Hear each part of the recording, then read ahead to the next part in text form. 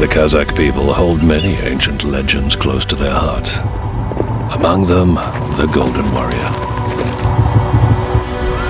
A mighty nomad whose tribe once inhabited the vast valley between the Alatau and Karatau mountain peaks.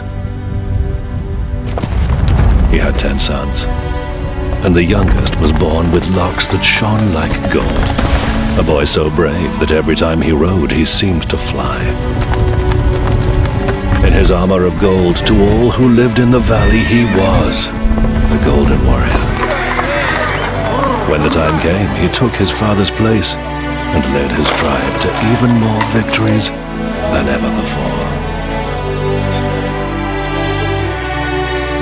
A great beauty from another tribe fell in love with him, but her love was not returned.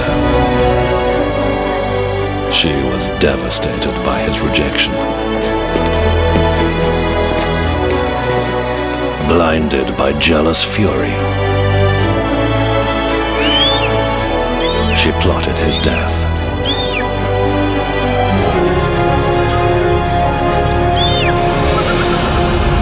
The people bayed for her execution, but the elders sent her to the stake to show Kazakh compassion and generosity, saying, Share bread with he who smites you. Thousands of horses were driven over the Golden Warrior's kurgan so that he would always know his people were as strong as ever. Centuries passed, and at last, the Golden Warrior returned to his people. The Golden Warrior.